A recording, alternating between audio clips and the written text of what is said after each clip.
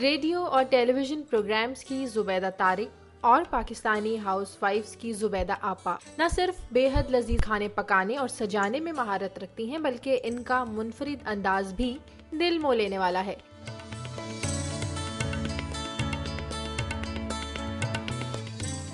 जुबैदा तारिक ने 50 साल की उम्र में अपने कुकिंग करियर का बाकायदा आगाज़ किया और चंद ही महीनों में खातन के दिल में ऐसे घर कर गईं कि आज तक वहाँ छाई हैं।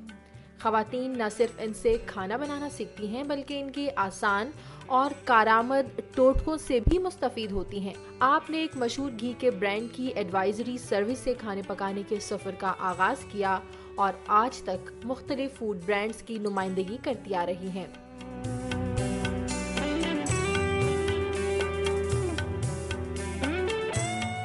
इसके साथ साथ आपके तीन हज़ार से ज़्यादा कुकिंग शोज़ भी मंजर आम पर आ चुके हैं।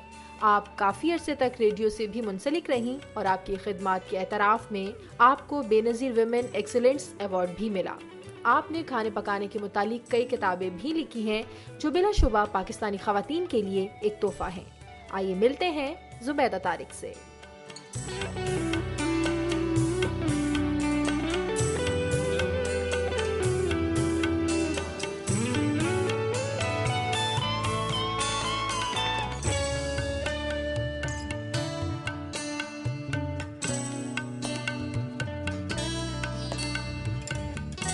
अस्सलाम वालेकुम जुबैदा आपा।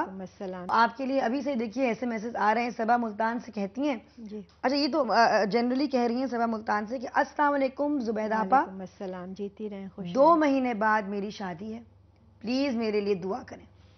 इंशाल्लाह बेटा सब बच्चों के लिए दुआएँ हैं अल्लाह मियाँ सबके बस नसीब अच्छा करे। आपको बहुत खुश रखे और आबाद रहें बस। सना कह रही हैं लाहौर से। नादिया आज आप बहुत अच्छी लग रही हैं थैंक यू जुबैदा आपा हम सब ये बाय द वे कामयाब रोकनी का कमाल है कामयाब रोकनी का ये कमाल का ही is just brilliant Zubaida Aapa हम सब बहनों की फेवरेट कुकिंग एक्सपर्ट हैं। हमने उनसे बहुत कुछ सीखा है। थैंक यू सना कह रही हैं जीती रहे खुश रहे। जुबैदा आपा जो हैं वो नाजरीन correct me from wrong Zubaida Aapa आप हैदराबाद दक्कन में पैदा हुई इन 45 1945 हैदराबाद दक्कन में पैदा हुई फोर्थ अप्रैल को। एरीज और पार्टीशन के एक साल बाद आपकी फैमिली आई। हाँ हाँ। फोर्टी एट में, अक्टूबर में शायद मेरे हम लोग यहाँ पहुँचे हैं। और फिफ्थ, असल में मेरे नाना ने मेरी अम्मी को कभी अलग नहीं किया। मेरी अम्मी अकेली थी। तो हमेशा साथ रखा। मेरे वालिद को, मेरी वालदा को। और मेरी अम्मी का निकाह नौ साल की उम्र में हुआ था। और तेरह साल की उम्र में शादी हो गई थी। मेरे वालिद उन्नीस साल के थे अट्ठारह साल के। और अब फिर जब वालिद 42 के हुए और अम्मी 37 या उसकी थी 36 की तो अम्मी विडो हो गई वालिद की डेथ हो गई। हम दस बहन भाई। नो दस बहन भाई हैं आप जिनमें फातमा सुरैया बजिया आपकी सबसे, सबसे बड़ी बहन है जहरा निगाह भी आपकी बहनों में से हैं काजमी भी मेरी बहन है काजमी भी आपकी बहन है एक इतना सख्त टैलेंटेड खानदान। और आपके वाले साहब एक बिजनेसमैन थे। Who dealt in the import and export of medicines बहुत मसले मसाइल पैदा हुए। बहुत ज़्यादा माइग्रेशन के पार्टीशन के बाद नादिया ऐसा हुआ था कि जिनके पास वहाँ सब कुछ था यानी तस्वुर भी हम नहीं कर हमें वैसे शायद ख्वाब भी नज़र नहीं आ सकते जो कुछ हमारे वालदेन के पास वहाँ था। लेकिन जो उनके पास था वो आके यहाँ बहुत परेशान रहे। आपके नाना जो थे कलेक्टर थे हैदराबाद दक्कन में और उनका भी बहुत बाशूर बहुत इंटेलेक्चुअल बहुत बहुत ज़्यादा शायर भी थे बहुत ज़्यादा पढ़े लिखे आदमी थे बहुत सेल्फ मेड आदमी तो थे। तहजीब विरसे में तहजीब से उन्हीं के उन, उन्होंने उनका ये था कि जैसे आजकल हम देखते हैं कि हम भी नाना नानी दादा दादी बने हुए हैं लेकिन हम बच्चों को उतना वक्त नहीं दे पाते जितना देना चाहिए। बचपन में आप ज़्यादा कौन सा खेल खेलती कोई भी ऐसा खेल नहीं गुज़रा क्यों खेला हमने क्योंकि बचपन हमारा बहुत ऐसा गुज़रा कि हम सोचते थे कि अम्मी इतनी खामोश क्यों बैठी हैं। जब होश आया तो अम्मी को हमने परेशान देखा। तो कुछ ज़्यादा खेल वेल जो उस ज़माने के खेल क्या होते थे? खिलौने वगैरह तो होते नहीं थे। पिट्ठू खो चोर सिपाही जो घरों में होते थे। खेलती थी? वही होते चोर कौन होता था? सिपाही कौन होता था? अनवर भाई सिपाही बन जाते थे। हम सब चोर बनते थे। लेकिन सब चोर। हाँ, और अनवर मामू सिपाही। और तो अनवर भाई अपना जरा पल्ला हमेशा भारी रखते थे। अनवर भाई की कैसे न, वो शरारतें थी?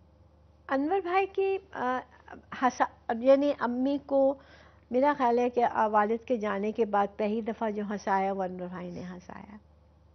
अनवर भाई हरकतें ऐसी करते थे। जैसे कभी कि जोकर बन गए कभी छुप गए कभी किसी की नकलें उतार ली सारे यानी घर में दस शायरों का मुशायरा अकेले जहराबाजी अनवर भाई कर लेते थे नकलें उतार उतार के और लगता था जैसे वही पढ़ रहे अब अभी हम बात कर रहे थे शो शुरू होने से पहले कि अब वो माहौल में बात कर रही थी कि मैंने भी बचपन में देखा जहरापा के फ्लैट पे मुशायरे होते थे फैसा बैठते थे वो पढ़ पढ़ पढ़ती थी फैसा पढ़ते थे। एक माहौल था और आपने कहा कि अब वो माहौल कभी वापस नहीं आ वो आ ही नहीं सकता क्योंकि देखो वो माहौल वो था कि उन सब लोगों को अपने माँ बाप की तरबियत मिली हुई थी।